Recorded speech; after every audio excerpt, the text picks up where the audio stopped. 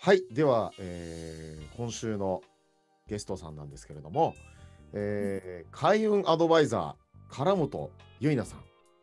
はい、はいこんにちは。よろしくこんにちは。ます。はい、よろしくお願いいたします。あの一度あのカフェかどっかでねお会いしてお話ちょっとはいさせていただいたことがあったと思うんですけども、はい。であのなんかそういったちょっといろんないろんないろんなこういろんな方法で開運をされてるみたいな開運をアドバイスしてるみたいな、そんな感じのこ。れはあれなんですか、お仕事なんですか、これは、なんだろう。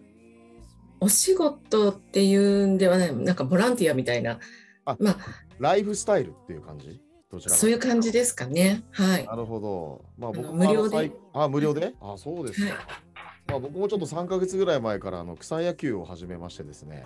えこれがなんと30年ぶりっていうですね。あの こ小学校以来やってなかったので、ー、えー、そこには別に収益があるわけじゃなくてね、自分のやっぱりうんやりがいと、まあもちろん健康、まあそういったうんものがうん目的があって、まあ今、うんほぼ毎日練習しているような状態。えまあ草野球チームも、はい、3チームぐらいもう所属してるんですけど。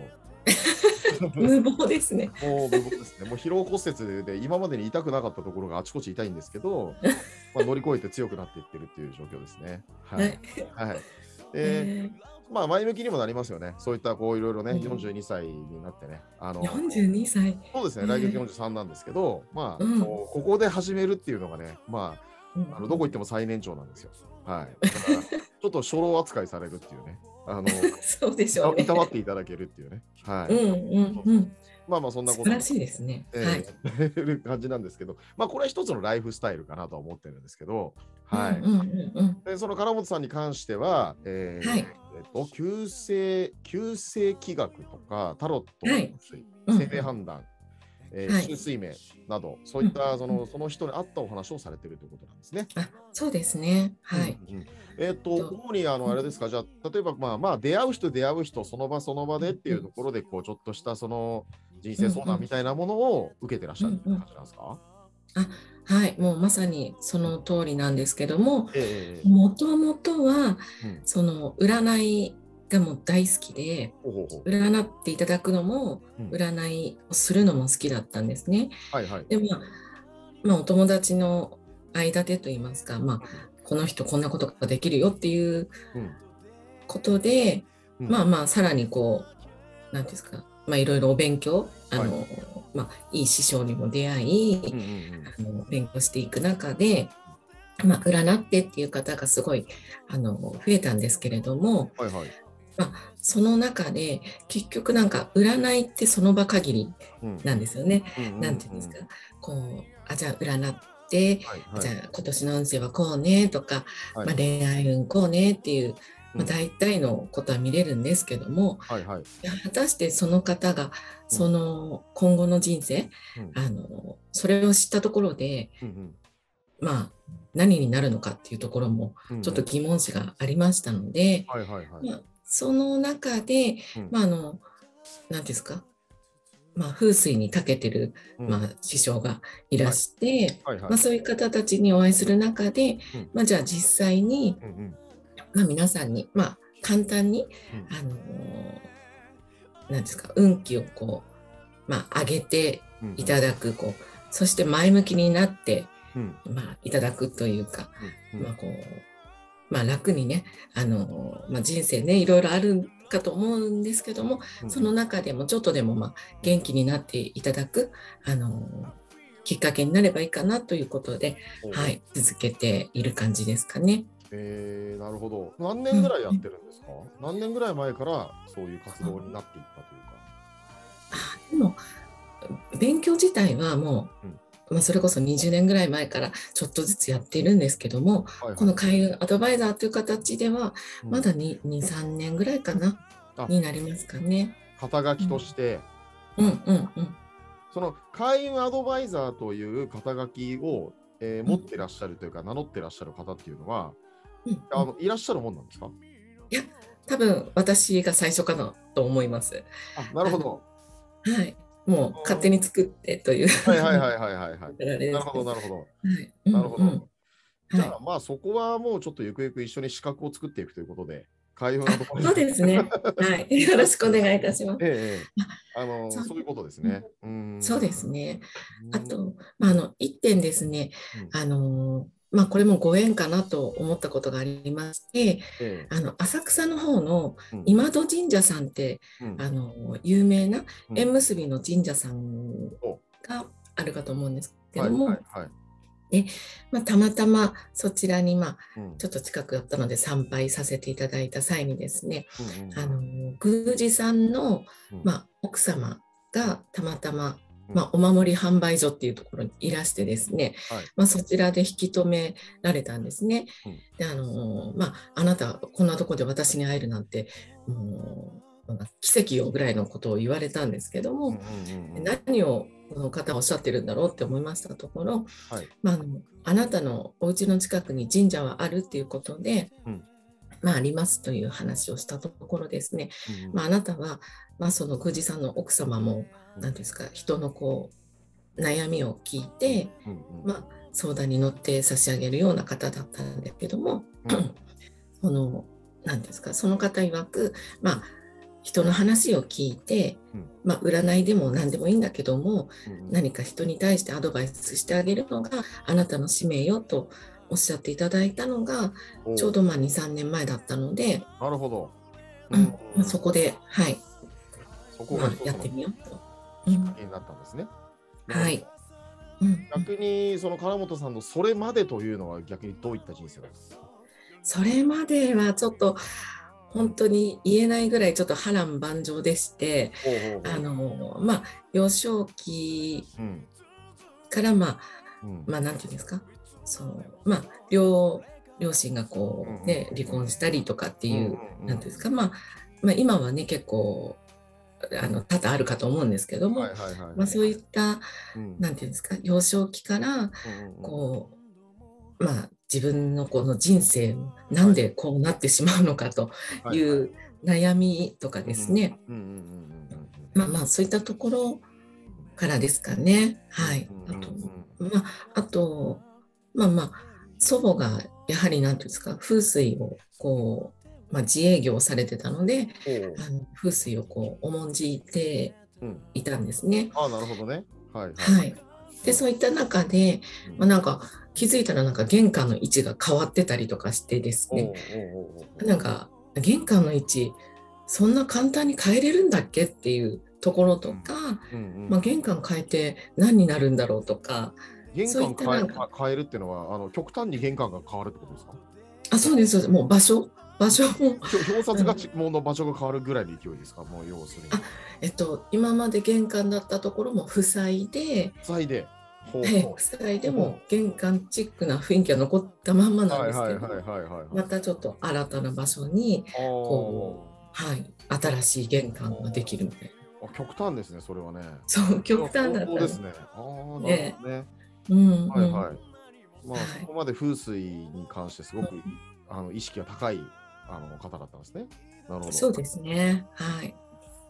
なんかそれね、目の当たりにした部分もあったんですか？なんかそれでこう、なんか授業が、えっと、そうですね。私、まあ、こういった形で、まあ、あの活動させていただいておりまして、うんうん、あのいろいろな方にね、こうお会いしてお話ししていただくっていうことはあるんですけども、はい、えっと、先先日ですねあの、ある企業の社長様とお会いしたんですけれども、はいうん、まあ、その方のご自宅がもう風水で、はい、えー、建てられたというふうなお話を聞いたんですけども伺ったんですけども、うん、そのその方に関しましては親子3代で、うん、なんとこの同じ間取りで、はいはい、まあ、同じ敷地内なんですけれども、うんうん、あの親子3代全く同じこう間取りで、うんうん、あの風水に基づいて、まあ、あの作られたご自宅に住まわれてるんですけども、あの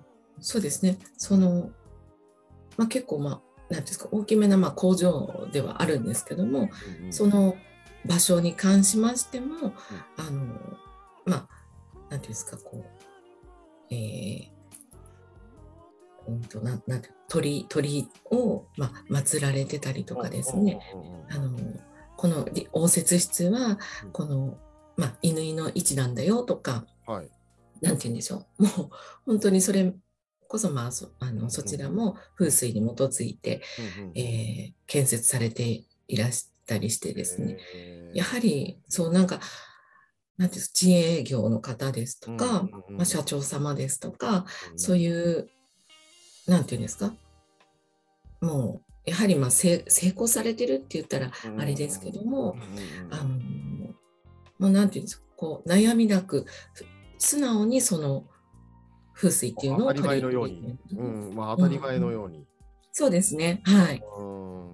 確かにその、もうそれでそういう経験逆に言うとまああのあれですよね。そのしなかったことによって適当にやってたことによって運気が悪いとか、うん、そのいいことが続かないとかね。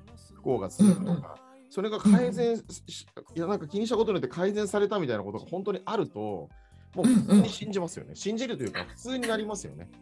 そうですね。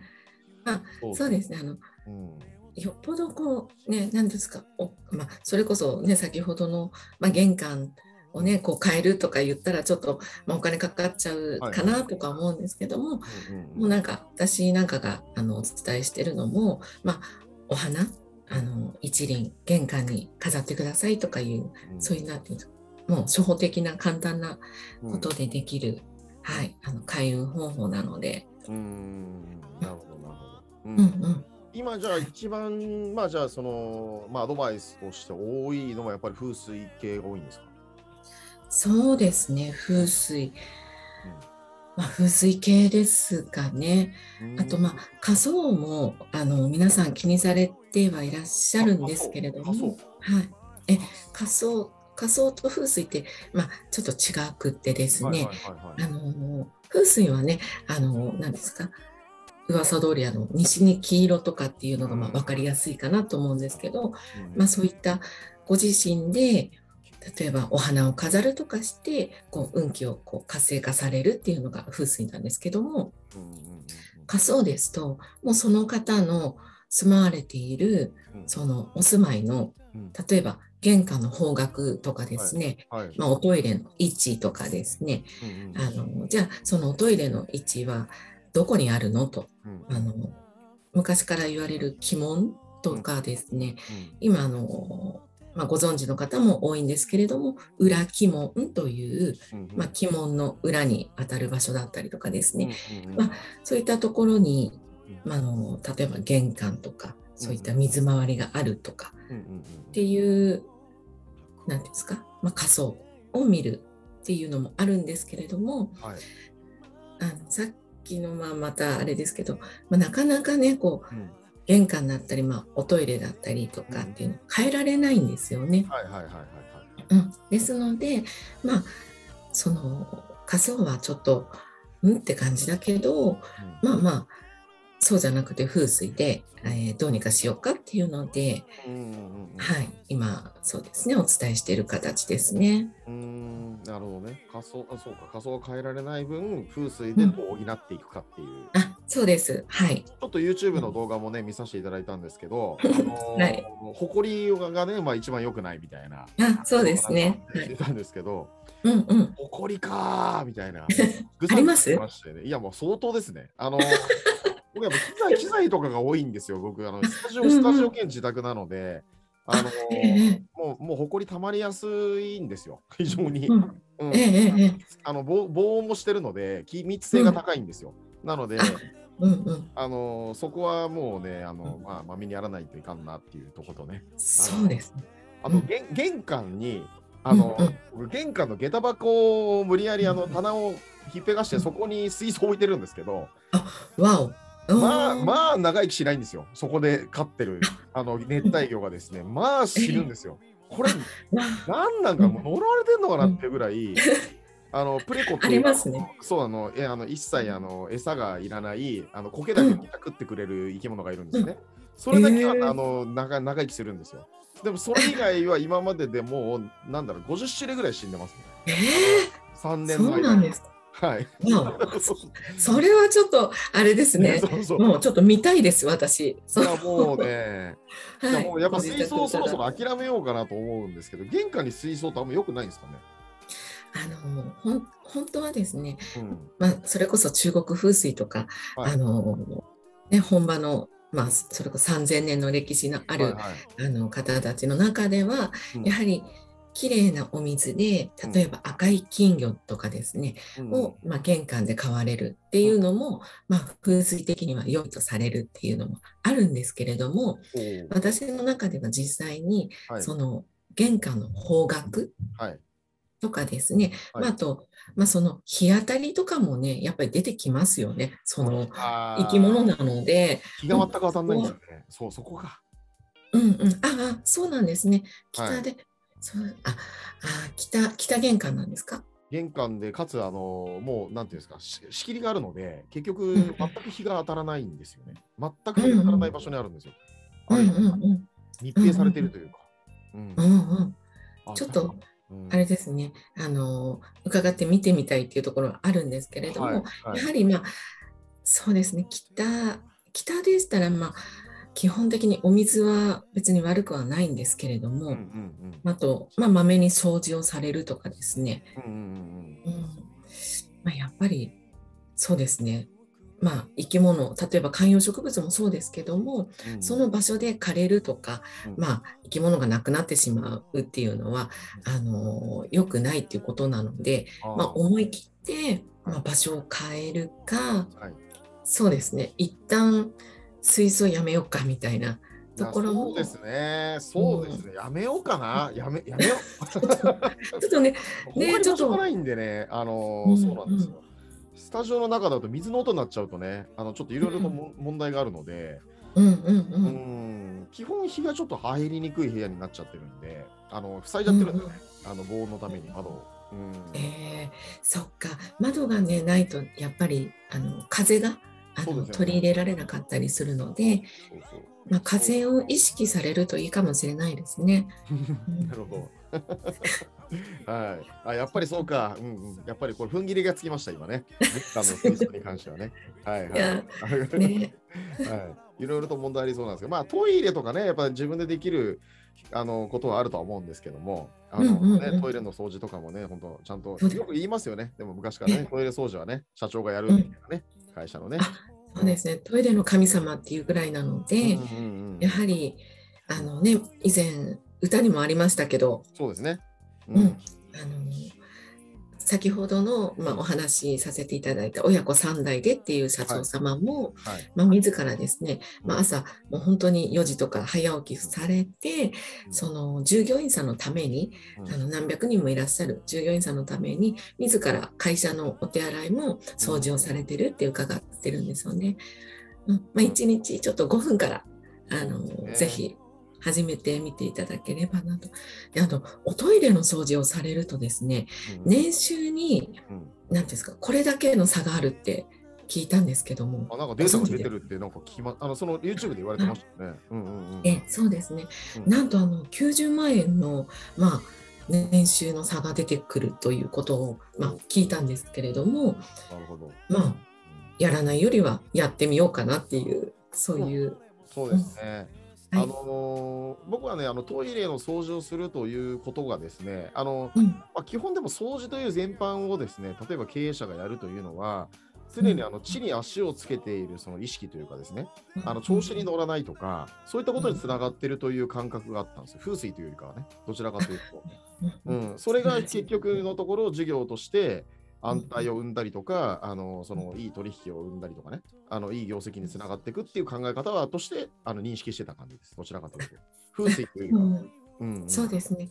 でも、ままさにそのようなあの考え方で合ってるのかなとも思います。うん、うん、そうなんですよ。だから風水を意識して今後はトイレをちょっとやろうかなと思います。僕はあんまり もうあんまりそんなになんかこうガツガツ事業をやってないんで、なんかその、そそういうね感じじゃなくて、ね、なんかね風水的に誇りとかね、別にない方がいいに決まってるんで。うん、まあそうですね。はい。はい、いいかと思います。なるほど、なるほど。はい、はい、はい。じゃあ、そうですね。開運アドバイザーとして、じゃあ、えっ、ー、と、どういった方からご相談を受けるのが多いですか？あの女性ですか、やっぱり。そうですね、女性がほとんどですかね。ななんでなんですか？なんでなんですかね、なんで女性の方がその、その地形というか。あそうですね。まあ本当それは多分幼い頃からの刷り込みなんですかねって一瞬思っちゃうぐらいなんですけど、まあ、あの我々ねちょっと昭和世代なので、ちょっとまああいなんですか？iPad もなければ、うん、その YouTube もないような時代に育ってきたとは思うんですけども、その我々の幼かった頃はですね、こうリボンとかっていうね、あの漫画、本当に漫画しかなかったかと思うんですけどもそういった中にやはり何ですかあの星占いってあったかと思うんですね。で皆さんやはり、まあ、子どもの頃からこうね、見たりもされてたりとか、でまああれですかそうですね今時の方も、まあ占いってすごく気にされていまして、まあ、特にまあ独身の女性の方とかですと、うんうん、まあ、自分の今期とか、うんうんうん、あとまあ一緒になる方との相性ですとか、うん、うん、そういったもろもろはすごく気にされてきますよね。うんうん、でまあよくよくまあそうまあそうですね。そんな形で皆さん気にされている感じですかね。なるほどなるほど。うん。まあそうですよね。まあ、うん、まあ気にする、気にしないで言うと、まあ女性の方が多くて、うん、そうですね。あと、やはりまあ家事をされるのがまあやはり女性ということなんですけれども、うん、そういった中で、まあ、自然とこう、まあ、風水もそうですし、多分まあ直結するんですよね。その。でなぜかまあ風水にしても、まあ、仮想にしても、まあ、そのまあ私旧星学っていう、まあ、占いもやらせていただいておりますが、その旧星学によっても何て言うんですかこのこっちの方面例えば北の方面は何て言うんですか例えば健康運だったりとかそういうまあ、お金の関係だったりとかっていうのを表したりするんですけれども、やはり、まあ、家に携わる女性がなん多分本能的なものなんでしょうかね、こうかなって最近ちょっと思うようになりましたね。なるほど。いや男性の方はあれですもんね、うん、この自営業の方ですとか。そうあのまあ、私、まあ、一人だけ主人がおりまして、はい、まあ、その主人も、まあ、自営をややらせていただいてるんですけども、えー、まあ、やはり、まあ、そうですね、あのまあ、こういった何ですか新しい事業をしようと思うんだけどどうかなですとか、うん、時期はどうかなとか、うん、そういったところを、まあ、あのなんていうんですか知りたがるというか。はいはいはいはい、はい。うんうんまあまあ、そこでそうですね、あのできるアドバイスをさせていただくという感じですかね。なるほど、なるほど。そうですね。ちょっと男性と女性で気にするところもちょっと違うような感じは、ねうん、そうですね。全然違うかもしれないです。うんまあ、一時期僕もね、誕生日占いはものすごく気にしてたんですよね。あのー、あまりにも当たるというか、あまりにも、その誕生日の組み合わせあるじゃないですか。あれでソウルメイトとか友達とか恋人とかライバルとかあるじゃないですか。むちゃくちゃいるんですよ、その関係が。むちゃくちゃいるんですよ。じゃあ、はい、きっといいいいお仲間さんにそういった相性のいい方に囲まれてるってことなんですかね。相性がいいのもありますし、まあ、ライバルとかになっちゃう人もいるし、ソウルメイトの人もいて、あのびっくりしたのがやっぱ大人になって調べた時にびっくりしますよね。あの幼なじみの今でも付き合いがある同級生がいるんですけど大人になってそのたまたまそいつの床屋に付き合って待ってる間で誕生日大膳が置いてあったんですよ。そう誕生日大膳が置いてあってななんでそこの床屋に置いてあるのかも不思議なんですけど、うんうんうん、その友達がすごいあの頭をアイパーとかかけてるやつですげえ時間かかったんですよ。それでそれで1時間2時間待たされたんでその間で誕生日大膳なんだこれっつって見たら僕とその友達のその関係がソウルメイトになって入ってたんですそれはそうですね。アイパーかけてる間中待ってられますよね。待ってられるよ。それでまあ今でもなんだかんだ付き合いがあるっていうね。のとか、あとは今、あのー、去年の7月からリフォームの会社を立ち上げたんですけど、はい、でその社長はい、そうなんですよ。で、社長やってるのも同級生というか、同じ友達で20代の頃から一緒にビジネスをやってきた友達なんですね。で、その彼の誕生日占いが、まあ、3月21日なんですけど、3月21日に力になってくれる人っていうので、10月3日から僕が入ってるんですよ。で、そう。でそれはもう20年とかずっとそういう立場っていうのが同じような感じで、僕はずっと助けてるというか、うん、その助けてるってわけじゃないけど、まあ、お互い助け合ってるんですけど、まあ、そのその3月21日の人っていうのは人の縁がむちゃくちゃ多くて、その 書いてある誕生日の数がもう僕の3倍ぐらいあるんですよね、3月21日って。すごい、えー、うん、人に恵まれてるというか、うね、うん、自分が実務をあんまりしないでこう人をコントロールしてお金を稼ぐ人なんですよね。だから、そう、でもそれがちゃんと入ってたりとか、すごいですね。はい。あの神田監督とうちの娘が誕生日一緒だったりとかね。あのすごい。ご縁がありますね。そうそれで友達恋人関係で入ってるんで、誕生日占いでね、入ってたりとか。はい。すごいです、なかなかね、ないですよね。そういった。あのー、そうですね、もうこれでもかってぐらいいっぱいいますね。すごい。はい。だからまあ、それは、だから一時期すごい気にしすぎちゃってて、うんうん、あのー、なんか逆にそれは暇なのかなっていう自分の中で思い出して、暇だったんだなって今だったら思うよ、ちょっと思うようになったんですよ。やっぱりその忙しくなるというか自分でまあそれを凌駕するぐらいあの、まあ、例えば野球もガッて取り組んでたりとか事業にバッて取り組んでいくとそういうの気にしなくなってくるっていうところがあって、だから今もう42、3とかなってくるとある程度も自分の一定の領域は超えちゃってるんで、承認欲求もそんなにないんですよね。だから、例えばパワーストーンとかつけてた時期とか、あのそういったものももう全くないっていうか、何もつけないわけですよ。で、何もつけない、何も求めないみたいな今、領域になっちゃってて、はい、だからそういうものが見なくなったっていうのはありますよね。うん、うん。もう、もう、あれですね、その、ご卒業されたんでしょうね。多分卒業したんだと思う。卒業するまでの過程は苦しいですよね、結構ね。そうですね。でね、まあ、若い子たちいっぱいまだね、こう野球とかやってるとそういう子たちもいっぱいいるから、今そのね、その領域というかね、なんか仕事の話とか、なんか小耳にこう聞いてても、ものすごいなんかその、あすごい昔の話とか僕にとっては、なんか、あこういう感じなんだなっていうのは、時代が変わってもあの変わらない部分は変わらないんだなっていうのはありますよ、うん、うん、そうですね。だから多分ね、開運アドバイザーっていうね、これ資格はね、ぜひ作っていきたいなと。はい、ぜひ、はい。資格の作り方はですね、まず、はい、試験問題を作ってください。試験問題を作っていただいて、問題に紐づいた参考文章、参考書を作ってもらえれば、もう、あとはオンライン受験システムあのうち持ってますんで、あの それで全,、はい、全世界であのもうあの募集かけて毎年何月何日にとか、はい、あの3か月に1回とかでもできるんで。はい、すごい。資格ビジネスであのしっかり一山当てるということですね。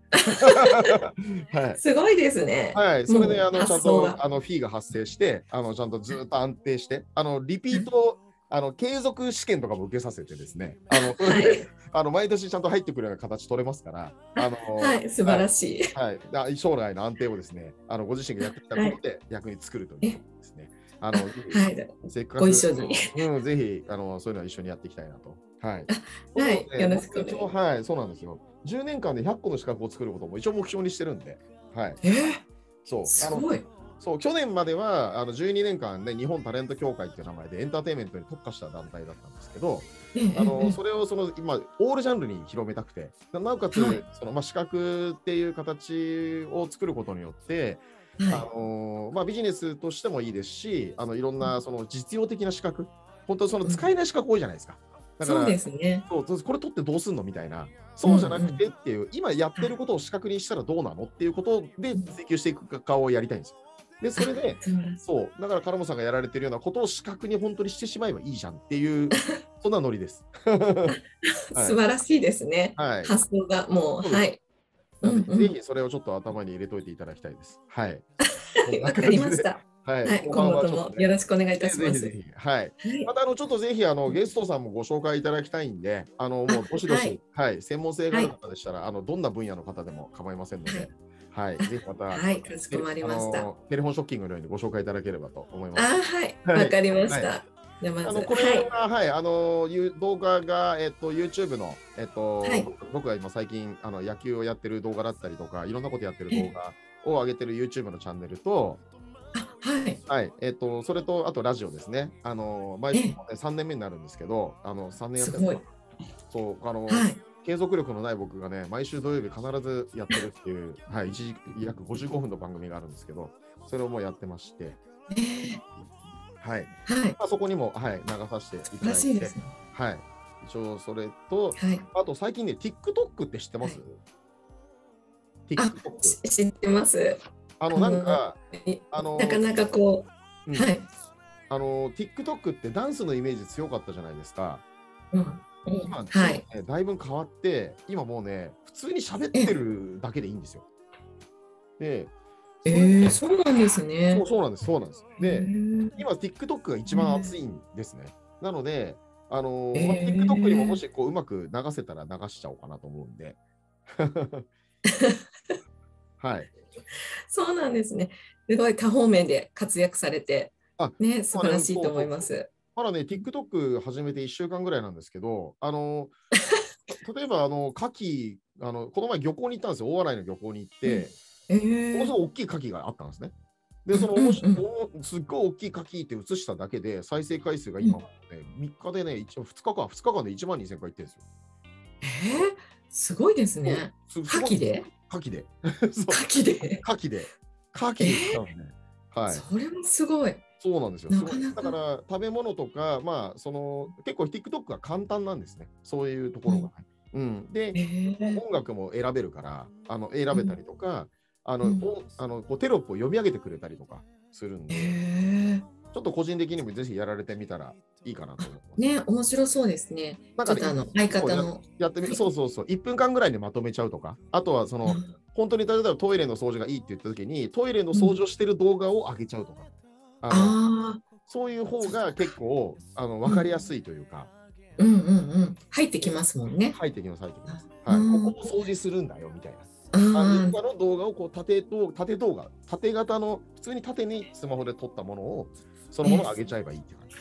えー、えそんなんで、そんなんでって言ったらあれですけど、いいんですか？そんなんでいいです。びっくりしました。だから大事なのは、やっぱりそのトレンドされてるキーワードが入ってくるといいですよね。やっぱり。はい、だから野球なんかも面白いんですけど、結構有名な野球の道具のメーカーさんがあるんですよ、最近、フィールドフォースのメーカーさんがあって、そのフィールドフォースの野球器具で練習してみたみたいなやつ入れると、バカーンって伸びるんですよ。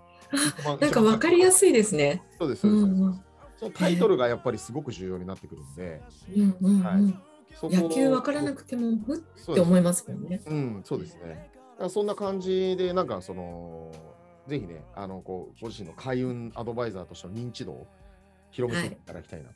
はい。わ、はい、かりました。頑張ってやってみます。はい。はいちょっと資格のことも頭に入れておいていただいて、はい、よろしくお願いします。わかりました。はい、ということで、えー、今週のゲストは、えっ、ー、と、唐本優奈さん、ありがとうございました。はい、またありがとうございました。はい、どうも、失礼します。失礼いたします。